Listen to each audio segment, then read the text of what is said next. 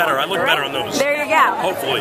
Okay, so people loved you as Paul Blart. Do you think that people who saw that movie are going to see similarities between that and this family comedy type of thing? You know what? I mean, I, I like doing. It's a definite family comedy. It's it's, uh, but it's got something for everybody. I mean, it's it's it's fun for adults too. Because I've gone to, uh, you know, family type comedies where Right. you go and they're just kind of boring and you, you sleep for an hour and a half. Uh, we try to we put everything in there for everybody. It's a physical comedy. It's a buddy comedy. It's a romantic comedy. But you can feel comfortable bringing your kids and everybody. Kids are gonna have a great time as well. Uh-huh. What about working with all these animals? You're juggling your lines and like the zebras running around. Was that an extra challenge, I imagine? You know, they were great. Everybody was, you know, it, it wasn't very difficult at all. And obviously, I can't be right there when I'm talking to a lion. So Uh-huh. that was thankful. Although I did shampoo a wolf. Really? Which, yeah. Okay. I think he enjoyed it. I don't know. I don't know. That was kind of scary for me.